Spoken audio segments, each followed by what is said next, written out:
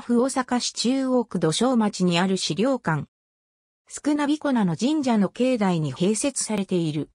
戦艦に及ぶ目録に収められた江戸時代の薬種業者による関係文書約3000点、明治以降の資料約3万点、様々な薬草、昭和40から50年代のポスター、おまけプレミアム商品とともに、土庄町の歴史も紹介している。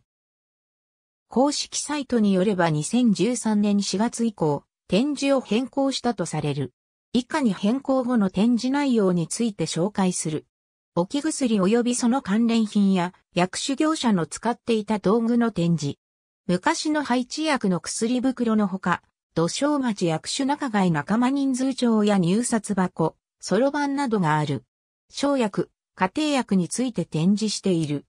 土庄町ゆかりの人々について展示している。例えば、劇作家の菊田和夫は、堺筋、平野町に存在した薬種問屋に年季暴行した経験を活かして、テレビドラマ原作小説、ガシンタレを表したという。感銘に薬の土庄町とあるが、そもそもなぜ土庄町が薬の町と呼ばれるのかについて考察する。土庄町そのものの歴史については、土庄町歴史を参照されたい。寛永年間、土庄町一丁目に、堺の商人である小西吉右衛門が薬種屋を開き、土庄町は薬の町として歩み始めた。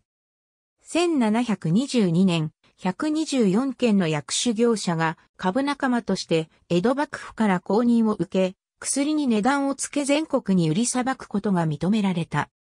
幕府が公認に至った背景として、当時の薬種の原料である中国から輸入された東薬種や日本で取れる和薬種は適切な品質であるかどうかを見分けるのが非常に難しかったため、知識を持つ薬種業者の検査が必要とされていたことが挙げられる。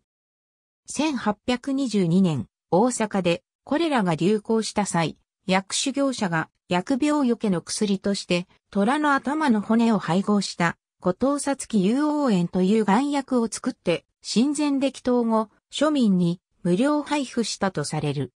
もちろん、後藤薩木有王炎にはプラシーボ以上の効果はない。なお、土庄町で薬病よけのお守りとして売られているハリコの虎はこれに由来している。明治時代になると西洋医学が広まり、薬保よる学校が開設され、薬種業者は西洋医学の勉強も始めたという。薬保よる学校は、現在の大阪大学薬学部や大阪薬科大学の元となった。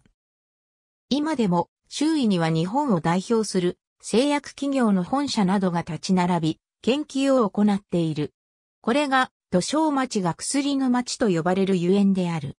1997年10月開館2013年9月、現在。ありがとうございます。